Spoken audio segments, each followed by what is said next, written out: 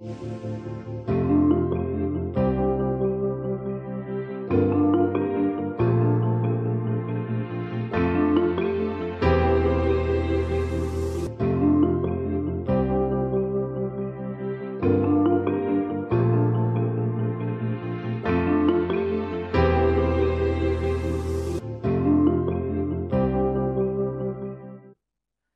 the second lecture today, we are now going to discuss on the strategic training and its processes.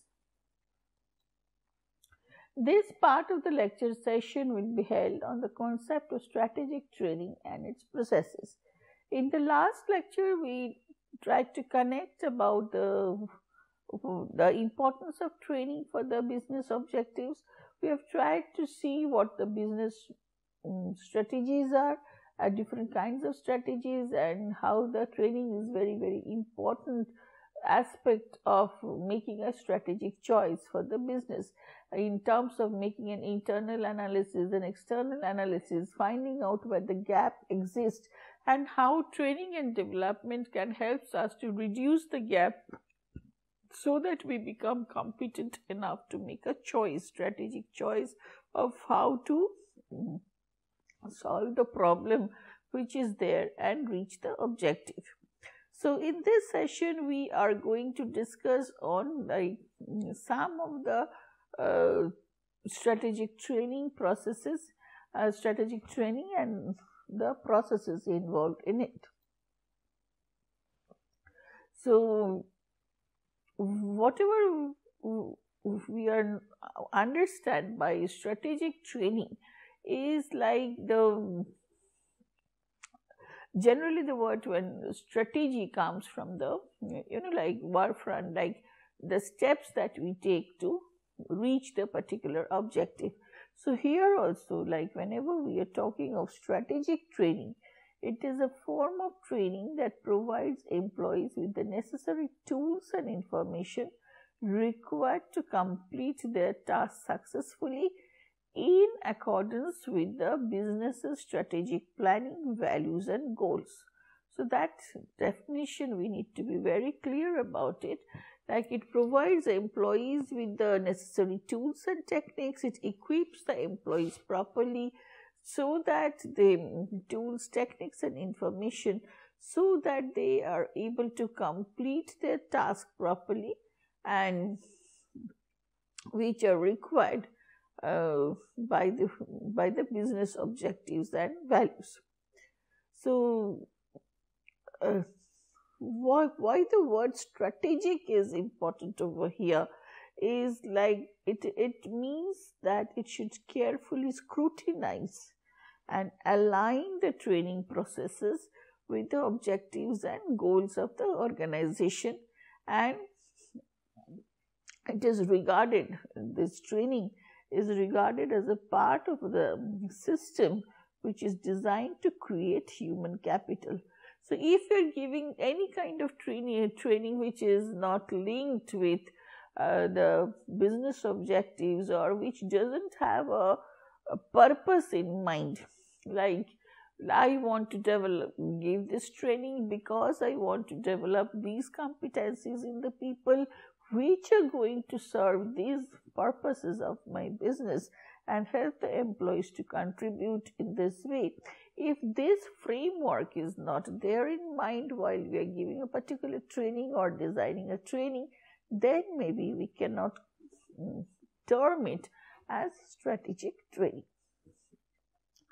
So, whenever we can, we are talking of strategic training, this alignment has to be there in mind. So, and the strategy, whenever you're talking of strategy, it is um, it helps to address whether the training session is planned. It is very important, like whether the training session is planned and systematically administered, provided only when the problem occurs or spontaneously.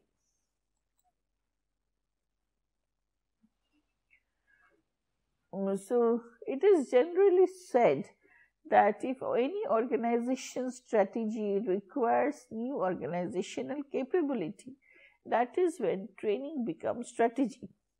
There are some preconditions to begin a strategic training. So, there are some preconditions to begin a strategic training. They are the people who cannot perform the required task of the organization at that moment should not be hired because we have to be very goal focused whenever we are talking of strategic training. The people with abilities may be hired and trained to perform even better for the company. Revision of the business plan with the employees and management is important. So, mm, so that it is the best thing for the required tasks.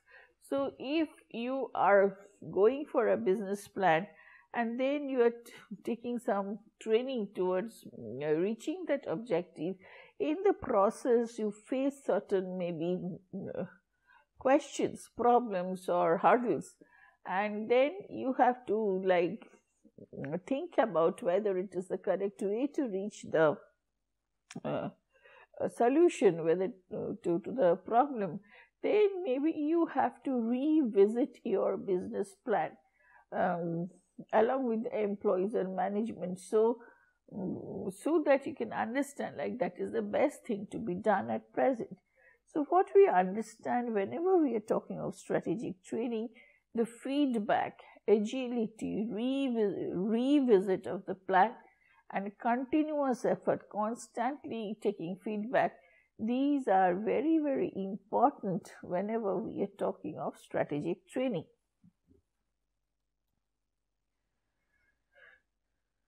why it is why strategic training is important? Like the strategy impacts training with a strong influence on determining whether training is planned and systematically administered it's provided when the problems occur or develop spontaneously as a reaction to what competitors are doing the importance placed on training compared to other HRM practices such as selection and compensation. So, um, whenever we are talking of strategic training, so it helps to understand what is the importance of training with respect to the other HR functions or how do it gets connected to other HR functions and like whether the training is planned or not. So, these are very important aspects of strategic training.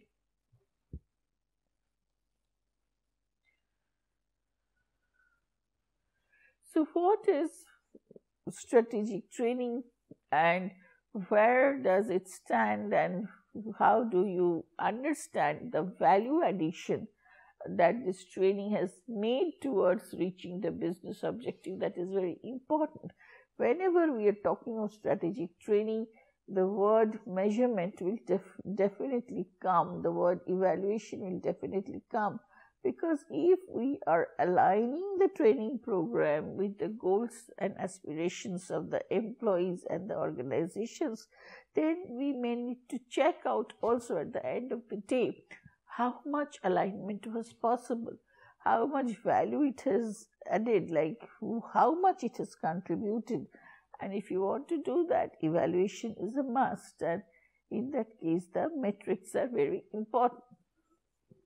So, as we can see this diagram, the business strategy has an effect on the strategic training and development initiatives taken, and those initiatives will lead to certain actual training and development activities done to reach certain of the business objectives and then we have matrices that show the value of the training to reach certain of these business strategy and objectives. Let us see these points in details now. Business strategy, this has been discussed at the start of this week also However, the process begins with identifying the business strategy is meant to reach the business plan consisting of uh, mission, vision, and the goals of the company. So, here, as it is a process diagram, it's showing the different processes taken. We have started with the business strategy, but it is also like uh, we have to understand by studying the business strategy, we come to know about the business plan, which is consisting of the vision, mission, and the goals of the company, and how the organization plans to re- like reach that goal. In number two, we found in the diagram strategic training and development initiatives. Now, strategic training and development initiatives are learning related actions that contribute to the diversity of a learning portfolio, the improvement of customer satisfaction, acceleration of employee learning, and the rate of capturing and sharing knowledge. So, if it is centrally defined, it is well aligned with the purpose of the organization, so then we can understand how to like impart this learning to what mode we do it, whether it is face to face, whether it is e learning, and what are these different modalities, how it is affecting customer satisfaction, and which modality is better suited for employee learning, and then mm, if people are learning, what is the value addition to the knowledge domain at what pace they are learning, at what rate they are capturing the knowledge and sharing it. So, all these things will come under the purview of the strategic training and the development initiatives. Because if you are investing, if the organization is investing in certain resources for the organization, uh, for the employees of the organization, then the organization would also like to verify like whether they are really value addition, whether they're enriching themselves with the like knowledge which is available in the e-learning platforms or maybe freely available over internet whether the employees are also learning them voluntarily to enrich them and how they are capturing those knowledge and how they are sharing those knowledge. All this needs to then need to be like evaluated. All this needs to be measured. And so that's where the importance of strategic trip, uh, training and development lies. Like it not only facilitates the learning processes through different like technology and medium etc it also tries to map out it also tries to see whether these efforts taken have yielded any value or not. So, what are the implications of the strategic training development initiatives are? So, the implications of um, diversity of a learning portfolio are as we as we already discussed using of technologies such as internet for training then facilitating informal learning and then providing more personalized learning opportunities. So, these are uh, welcome changes that we may talk of like in strategic training and development and also which are pro employees decision like how making learning more easy and uh, like which can be accessed from the locality that they are in. They don't need to travel to a central location. And uh, more personalized learning opportunities means I'm developing only that part maybe where I require to train myself. So it brings in a lot of flexibility. If we are like mm, talking of uh, like the strategic mm, training and development initiatives and along with that like how technology is more so very in, uh, involved in the whole process. The strategic training and development initiatives and their implications uh, are like uh, implications to not only the uh, direct uh, people who are the employees, but um, implications of training should be extended, like who should come under the coverage of this training program is like extended to suppliers, customers, and employees. So, what kind of things are you getting in? What kind of like uh, raw materials you're getting in. So, all these are going to ultimately affect your uh, product. So, it is very important, like the suppliers also get to know, like where to source from, like how the whether there are any uh, like ethical issues connected or not. So, these are important things that needs to be uh, like understood in terms of strategic training and that's why it is not only the employees of the organization who should be getting training on it, but the, along with them, the suppliers and customers, if they also come in the same platform with the employees, then only there will be a quite good synchronization amongst the all three players.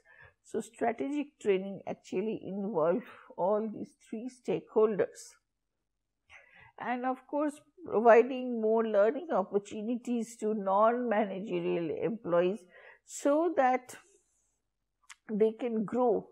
They can grow in the system and make oneself capable enough for the next position on the hierarchy. If their like education background and other things me, or even they may be sent for education courses etc depend depending on their need their aspirations, their competence, and maybe other uh, behavioral aspects which make them more fit for the next step. Like, and these are the things which are acting as hurdles, which we need to like take care of by sending the person to some like um, learning exposure programs to different so that the person is able to equip oneself with the strength which is required to move up next in the hierarchy. So, the offering and learning opportunities to learn non managerial employees is very, very important for maybe the career progression of the employees. So, there implications of the strategic training and development initiatives are. So, it helps in accelerating the pace of employee learning because it um, helps to identify the needs quickly and provide a high quality learning solution. Mm, so, uh, employees may not get time to all of them get equal time to learn because of the job nature and the situation. So everybody cannot take the off at the same time, then the business is not going to run. So they need their own pace to learn and maybe whenever they are comfortable as per time wise so that they are not like uh, developing themselves at the cost of the development and production process of the organization. So, whenever we are talking of strategic training and development initiatives, the specific needs, customized needs of employees for whom this training program is being developed needs to be taken care of and accordingly the program needs to be developed for them. So the implication is, of course, as I told, quick identifying the needs and provide a high quality learning solution. So it reduces the time to develop training programs and facilitates facilitating access to learning resources on and as needed basis. So mm, this helps in like mm, if the learning system is there so it it it makes the journey of learning for the employees easy because they can learn at their own pace and time. They can follow their own routine. And then learning really doesn't become a compulsion. But learning becomes a love. It is out of the love for learning. It's out of the like desire to know more. People may go to this platform to search the knowledge relevant informations which enrich them as an individual um, as a employee and it helps in personal growth also. So the what are the in, implications of these initiatives in like which helps to accelerate the pace of learning are like providing high quality learning solution based on what they are trying to learn. And it uh, so if it is there definitely there will be a reduced need for develop uh, reduced time for developing the training programs. And and you can like if it is present in a system you can go and access it at any point of time. Strategic training and development initiatives and implications of improving customer service are like the it is very important like the employees have product and service knowledge. So and they have the skills to interact with the customers. And the employees should also have the understanding of their roles and decision making authority. So these these are very important points in the sense like if the employees do not have the knowledge of the products and services how do they explain those processes to um, the customers to um, convince them? And then uh, behavioral skills of interacting with the employees uh, or the other customers specifically here the other customers are required so that they are able to um, convince them be assertive in their communication also. The third point is very important like what decision making authority do do they have to what extent and what are their roles? Uh, they need to understand these very things very clearly because sometimes there could be some uh, demands from the customers regarding certain concessions or extra benefits. Now the employee has to understand like whether it is within their reach within their like purview to give give those concessions or extra benefits as demanded by the um, customers. So if it is there it is fine. Uh, if not they should be knowing their uh, limitations also. And maybe that that makes the interaction uh, with the customers more easy. So that is very important to if we have a decision making authority, then to what extent. The implications of providing development opportunities and communication with employees are the it it it should be ensured like the employees have development opportunities it ensures that the employees understand career opportunities and personal growth opportunities, like how they are able to grow and if they are growing, how it is getting reflected in their career. And it ensures that the training and development addresses employees' needs in current job as well as, as the growth opportunities. So, it is not only focusing on what is present, but also trying to develop what you can do next so that you grow.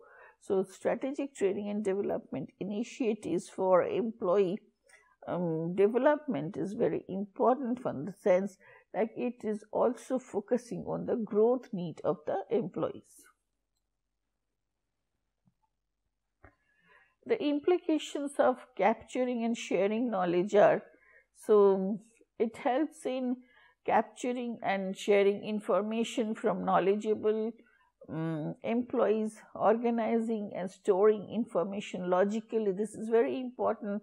So, how the tacit knowledge gets like stored in the organization, so that others, when required, can refer to it, can learn from it, so to enrich oneself and providing methods to make the information available to the so it acts as a um, manual a guide for others to follow.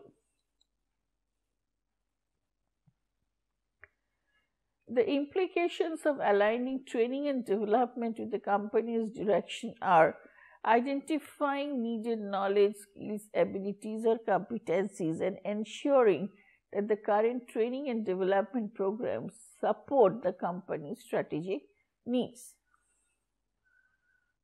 So, first you have to identify the knowledge, skills, and abilities required, and then see whether the training program, the how we are doing it as a present, are like aligned or focused towards the strategic needs of the organization.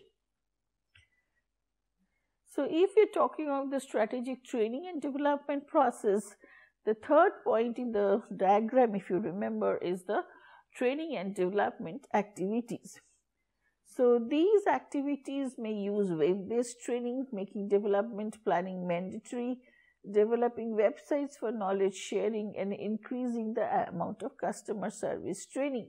So, web based training, multimedia method training. So, there, there are uh, different ways of uh, training. So, these are some of the activities here we have focused on web based activity because uh, it helps in the like e-learning platform helps in uh, very quick um, quick paced learning learning at your own pace learning wherever like whenever you want to learn. So these flexibility are given whenever you're talking of web based training. Uh, so that um, so that is where we are focusing like when you're talking of strategic training and development on the web based training and making development planning mandatory, developing websites for knowledge sharing, and increasing the amount of customer service training. So, understanding like how the uh, customer is going to behave, how to like talk to them, how to approach them, how to understand their points of view, how to make our points of view towards them. So, these kind of training are important as a part of strategic training. So, providing training and development activities linked to strategic training and development initiatives like um, these activities include developing initiatives related to the use of following like as we told new technology in training which is more web based training or hybrid models of training so, increasing access to training programs for certain groups of employees. So, who will have the access and how frequently they can access it, reducing development time, and also like the course module should take less time to be uh, developed because it has to be timely to answer to the problems which are there, to answer the environmental demands which are there if it take a very long time to develop these course materials or these training programs, then it may be uh, like become out of track, obsolete when uh, the and the situation may no longer demand the training. So uh, it has to be having a very reduced development time and developing new or expanded course offerings so that you can incorporate the newer findings in it. So, the providing training and development activities which are linked to strategic training and development initiatives are is to align training with business strategy which includes customers, products and services, research and development, business system, so continuous learning and results. So, the fourth point as you have seen in the diagram as you've told, like it is not only the business strategy or the business planning and the strategic training uh, to connect with the business strategy, strategic training initiatives that have been taken, like the web-based training and all, or the what kind of training is required, identifying the keys, competencies, and then making the training programs or initiatives and different kinds of uh, training uh, that needs to be given. But also, if you see in the fourth point down, which is there, if you see the, if you remember the diagram that is shown, the fourth point over there was the uh, matrices that show the value of training. That is very important whenever we are talking of strategic training. It is not only aligning your training with the business objectives and claiming that we are adding value, but we have to really prove that it's adding value and if so, how much. So, for that, having evaluation, proper matrices to um, measure the training is very important. So, it involves learning, performance improvement, reduced customer complaints, reduced turnover and greater employee satisfaction. So, this particular training model takes into account the matrices and balance scorecard which is the tools for measuring the impact of training session on the business strategy plan. So, what are the steps or how do we collect matrices? The first step of course is to identify and collect metrics to show training success. So, what you do is a part of that is we under, try to understand trainee satisfaction with the program, assessing improvement of skills, knowledge and abilities.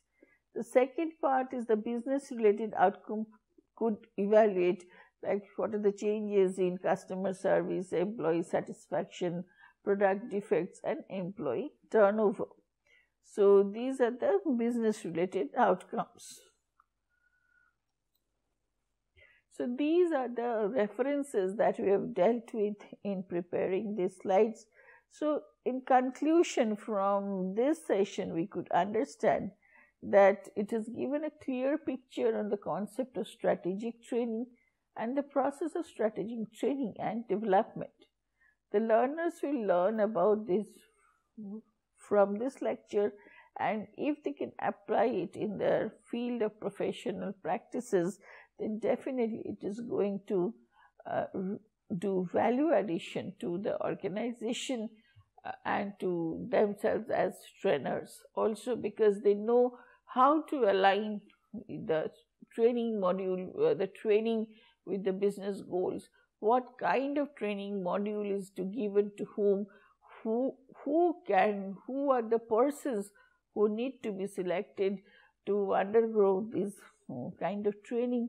So these are the knowledge that we get from uh, going through this type of uh, exercises when practiced in the organization. In the next session, we are going to learn in depth more about the different strategic training models which are there. In this session, we have focused on the strategic training processes. In the next session, we, we are going to enrich ourselves with the different kinds of strategic training models which are there.